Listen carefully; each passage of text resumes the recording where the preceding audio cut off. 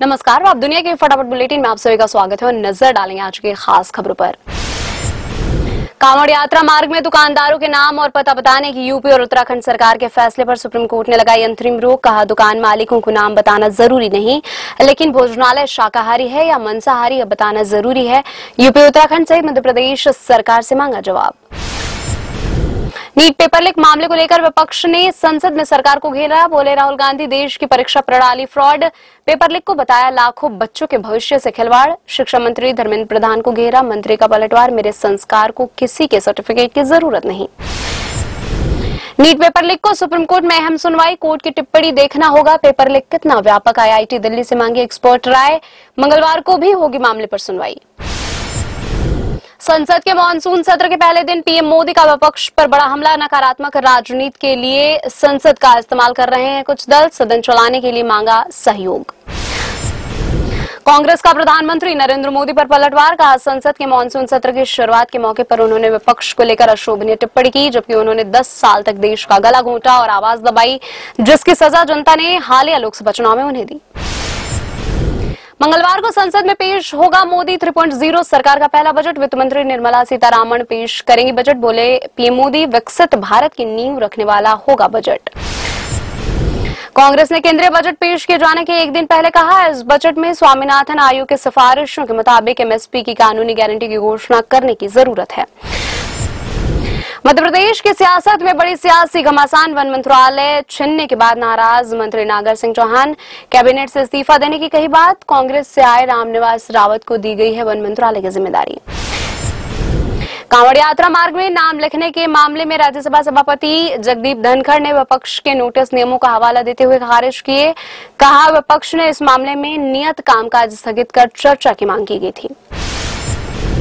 Supreme court ने 2021 के लखीमपुर खेरी हिंसा मामले में पूर्व केंद्रीय मंत्री अजय मिश्रा, टेनी के बेटे आशीष मिश्रा को जमानत दी। अदालत ने अजय को दिल्ली या लखनऊ में ही रहने का निर्देश दिया है। आरएसएस ने सरकारी कर्मचारियों के संघ की गतिविधियों में शामिल होने पर लगी रोक को हटाने के केंद्र सरकार के फैसले का किया स्वागत। कहा, रोक हटने से लोकतंत्र मज़बूत होगा। सैन्य अधिकारियों ने बताया, जम्मू कश्मीर के राजौरी ज़िले में सेना के जवानों ने एक सैन्य चौकी पर आतंकवादी हमले की कोशिश तड़के नाकाम कर दी। हमले में एक जवान के घायल होने की भी खबर है। अमेरिका की पहली हिंदू सांसद रह चुकी पूर्व कांग्रेस वुमेन तुलसी गबार्ड का कमला हैरिस को लेकर सनसनीखेज दावा। तुलसी ने कमला हैरिस को हिलेरी क्लिंटन क्या नौकरानी बताया। कहा, कमला राष्ट्रपति बनती है तो अमेरिका के लिए बहुत खतरनाक होगा।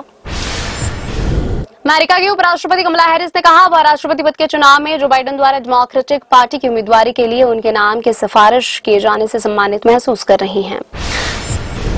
बिहार को नहीं मिलेगा विशेष राज्य का दर्जा। केंद्रीय मंत्री, राज्य मंत्री पंकज चौधरी ने जदयू सांसद राम प्रीत मंडल के सवाल के जवाब में कहा, सरकार के पास बिहार को विशेष राज्य का दर्जा देने की कोई योजना नहीं है। ट्रेनी आईएएस पूजा खेड़ेकर की माँ मनोरमा को पुणे की एक अदालत ने चौदह दिन की न्यायिक हिरासत में भेजा। मनोरमा पर किसान को धमकाने का आरोप है। महाराष्ट्र के मुख्यमंत्री एकनाथ शिंदे ने की रंकापा नेता शरद पवार से मुलाकात। केंद्रीय गृह मंत्री ने दोनों की मुलाकात से एक दिन पहले पवार को बताया था भ्रष्टाचार का सरगना। बजट से पहले गिरकर बंद हुआ शेयर बाज़ार। सेंसेक्स 103 अंक गिरकर अस्सी हज़ार सौ दो अंक पर हुआ बंद। निफ्टी भी बाईस अंक की गिरावट के साथ चौबीस हज़ार सौ नौ अंक पर हुआ बंद। विकी कौशल की फ़िल्म बैड न्यूज़ ने पहले वीकेंड पर बॉक्स ऑफ़िस पर किया अच्छा कलेक्शन। फ़िल्म ने तीन दिन में किया तीस दशमलव छह दो करोड़ रुपए का कलेक्शन।